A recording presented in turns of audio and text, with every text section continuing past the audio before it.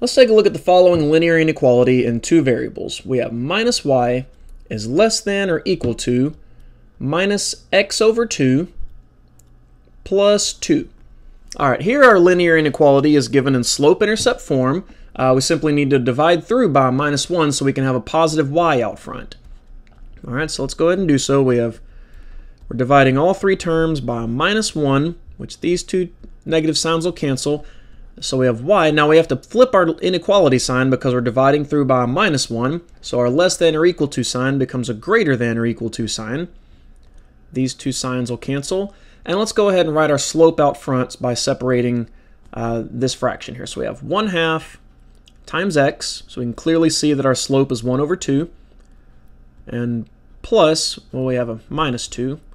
So we have because 2 divided by minus 1 is minus 2, so we have y is greater than or equal to 1 half x minus 2.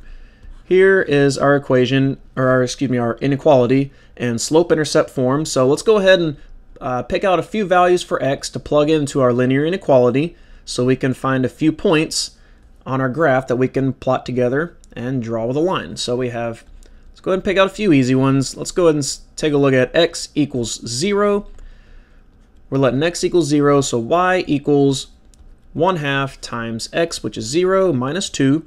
Remember, we're letting y equal this expression because we want two particular points um, that go on the graph that we can connect with a line. So we have those two terms canceling. We have minus 2, so we have the point 0, minus 2. That's our first point. Let's go ahead and find a couple more. We have x equals 1, so we have y equals 1 half times 1 minus 2. We have 1 half times 1 is just 1 half minus, uh, let's go ahead and convert 2 into 4 halves so we can subtract our two fractions in the next step. 1 minus 4 is minus 3 over 2. So our second point is 1 and minus 3 halves.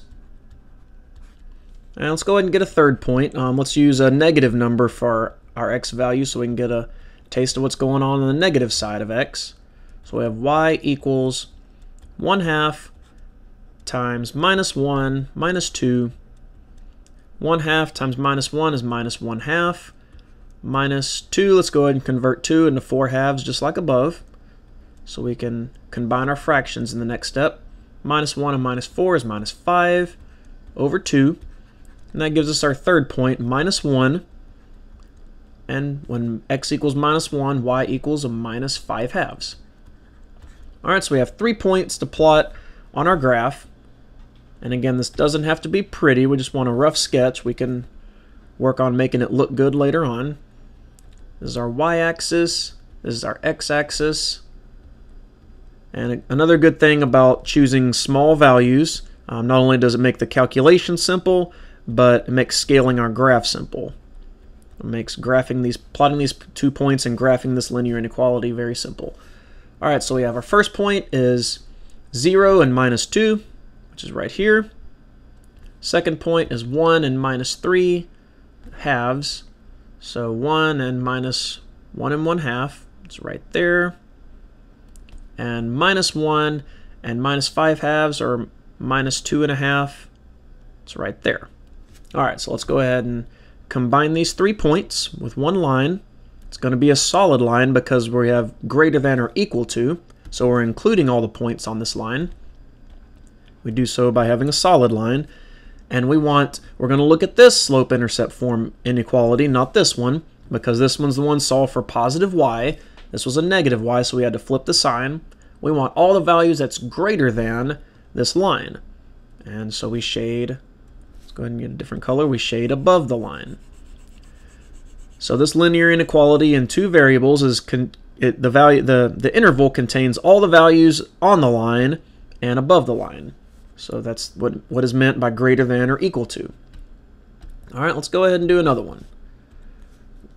Let's take a look at y is less than 2x minus 1. 2x minus 1.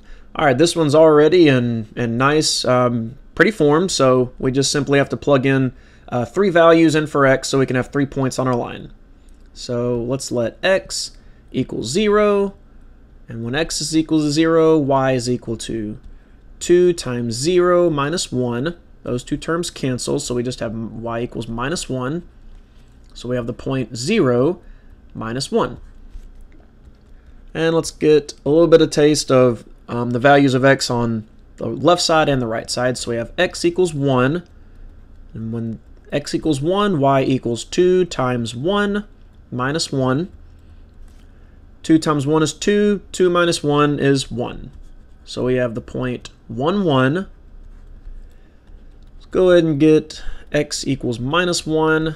Let's go ahead and get the point for that. So we have y equals 2 times minus 1. We're just subbing in uh, minus 1 in for x into our linear inequality up here. And minus 1. So 2 times a minus 1 is minus 2. Minus 2 and minus 1 is minus 3. Our third point is minus 1 and minus 3. All right, so let's go ahead and plot these on our Cartesian plane. One, two, three, four, one, two, three. We should be very familiar with this by now. Here's our x-axis. Here's our y-axis. Our first point, 0 minus 1 is right here. Second point is 1, 1 right there. Third point is minus 1, minus 3. That's right there. We can connect them with a, with a dotted line. We're going to use a dash line because it's less than, not less than or equal to. So there's our line, trying to make it straight as possible. It's going to continue in both directions. And all this means is we're not is we're not including any points on this line. We're excluding all the points on this line, just like in a number line. And we're going to be looking for all the values that are less than, less than this line, so we're going to shade underneath this line. So it looks something like this. Alright, not a whole lot to these. Uh, we've done several of these on a number line. We're just looking at, taking a look at what it actually does on a Cartesian plane in two dimensions. So let's take a look at another one. We have minus 6x plus 3y is greater than or equal to 6. All right, here are linear inequalities in standard form, so Let's go ahead and convert it into slope-intercept form. We could sub or we can add 6x to both sides. We want y on the left side and everything else on the right side. So we have 3y is greater than or equal to 6x plus 6. We can isolate our variable by dividing all three terms by 3. Those two terms cancel, so we have y is greater than or equal to uh, 6x over 3 is the same thing as 2x, and 6 over 3 is simply 2. So here is our new linear inequality in slope-intercept form, and this is what we'll be using for the remainder of the problem. Let's go ahead and plug in a few values for x. So we have x equals 0. When that occurs, y is equal to 2 times x, which is 0, plus 2. These two terms cancel, so y equals 2. So when x is equal to 0, y is equal to 2, that's our first point. We just need, go ahead and find two more just for accuracy. So we have y equals 2 times 1, subbing in 1 for x. 2 times 1 is 2, 2 plus 2 is 4. Our second point is 1, 4. Let's go ahead and find a third one.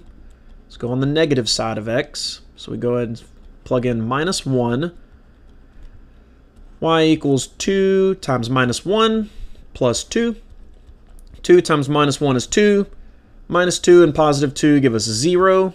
So we have the third point, minus 1 and 0. All right, so we go at, we have our three points here. So let's see what it looks like on the graph. Here's our y-axis. Here's our x-axis.